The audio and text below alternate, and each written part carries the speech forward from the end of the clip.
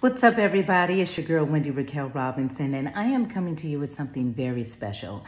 On Saturday, October the 7th at 8.30 a.m. Pacific Standard Time and 11.30 a.m. Eastern Standard Time, we are bringing back the Black Health Matters Fall Health Summit and Expo. That's right. It's the Black Health Matters Fall Health Summit and Expo, and it is happening right here in sunny Los Angeles, California at the St. Anne's Family Conference Center. And guess what? More importantly than that, it's going to be online. So no matter no matter where you are in the world, you'll be able to catch it virtually. And then guess what else? I'm going to be your co-host. So you know we're going to have a great time. We're going to be talking about all things health. We're going to be talking about all things mental health. And we're going to be in community love with each other. We have free screenings. We have raffle prizes. We have so much more. So please join me on October 7th.